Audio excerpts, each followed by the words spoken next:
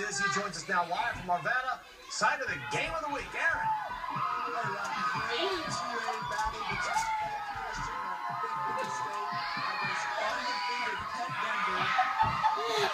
Sections from both schools for this one.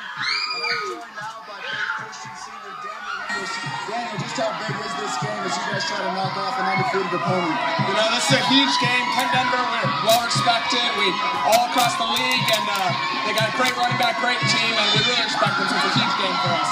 It's been a few years since you've been able to knock them off. As a senior, how good would it feel to get them? You know, this is huge. I've had to go through the pain of every single year hopefully come out with a victory. Good luck tonight. Thanks for joining us. Thank you. All right, it's the fifth ranked team in the state versus the second ranked team in the state. The last thing to do is pick the game, guys. So am I going to put the jersey on? Give me the head.